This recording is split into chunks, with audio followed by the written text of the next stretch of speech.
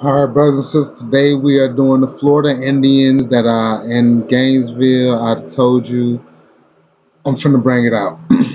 Watch my series of these Indian, Florida Indians thing, man. So the Timucua Indians. All right. These are the Native Americans in Florida.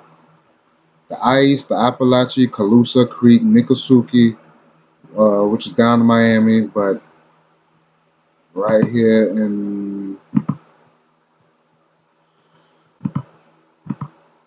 uh, excuse me, I'll show you. Right here, the Timucua. This is the area right. I'm Gainesville is right in the heart. What, what is you is on the Timucua side. So all right. And the Yamasee.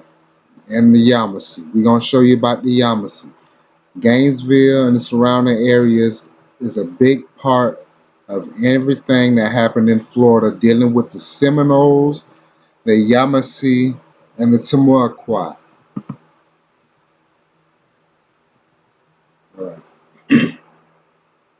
the State Library and Archives of Florida provides access to a multitude of published and unpublished unpublished resources for the study of Native American history and culture and recognition of Native American Heritage Month. Bam, we're gonna go through all this. You're gonna get the uh, uh, uh, okay. It should be no surprise that some of the earliest images of Native peoples as well now United States originated in Florida. Originated in Florida. The na- the earliest images, ladies and gentlemen, are Notus Montanus. These are the this is Florida right here. These Indians right here Florida Indians. These are Floridians. These are Floridians. And remember this picture. Those are the Florida Indians. Uh, Florida Indians.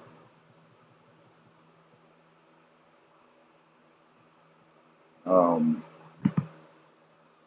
those, uh, these two pictures right here these were in St. Augustine, right around the corner from where I'm from, 1671. St. Augustine, St. Augustine, brothers and sisters, St. Augustine. And I'm going to continue. These are original Indian images from recorded by Arnodus Montanus. And some of these pictures I typed in uh, are Florida Indian, and you going from the pictures of the Timucua of the Timucua. We can see the Choctaw down on the peninsula, but uh, I'm gonna continue. He, the first recorded European expedition images came from Florida. Uh, under the command of Juan Ponce de Leon, landed somewhere along the east coast of Florida in 1513. Several conquistadors followed over the ensuing half century and left a trail of bloodshed across the peninsula. This is why I say, man, most of you brothers in Gainesville, you got Spanish names. My name is Romanda Lacase. And I ain't no Spanish. Let's continue. These just look at the images. Keep the images in mind. This image is in 1591, but uh, in 1564, the second of two French expeditions landed in northeast Florida near the St. Johns River. St. Johns River is about 30, no, excuse me, 45 minutes from where I'm located. They established a short-lived settlement dubbed Fort Caroline, which survived until it was destroyed by the Spanish in 1565. All right. One of the members of the ill-fated French settlement, cartographer and artist Jacques Lemoyne de Morgues, is credited by creating the earliest known images of native Floridians during his brief stay in Lemoyne. Survived the Spanish attack and sought refuge in England upon the return of Europe. This is the early images of Indians. Keep these images in mind. It is unknown whether Lemoyne's sketches made in Florida survived a journey across the Atlantic or if he later reproduced drawings from memory.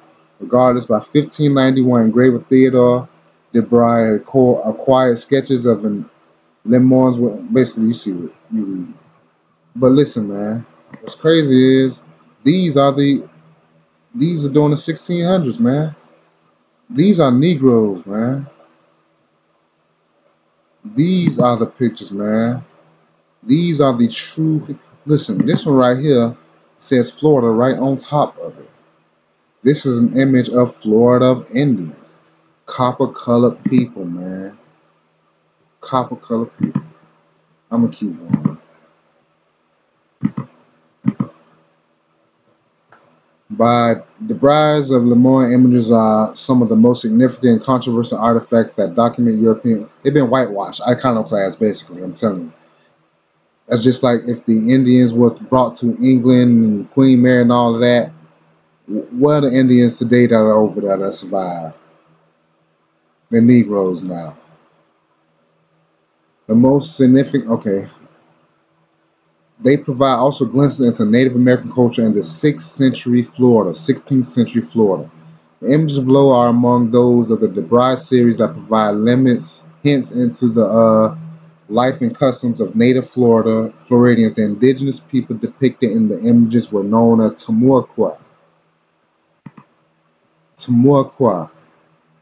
Gainesville and about, man, the surrounding areas of Gainesville, most of the cities around it were Timucua. And I'm going to show you how the Yamasee came into play and the Seminoles came into play. But let me keep going. Okay. The Timucua were divided into several small chiefdoms and subsisted on farming, hunting, and harvesting marine resources. Ethnographic evidence from the 17th century in the form of documents created by Spanish priests lend additional credibility to some of the elements portrayed by DeBry in his 1591 publication. These are Indians being struck by famine, man. They were known to have tattoos and stuff like that too.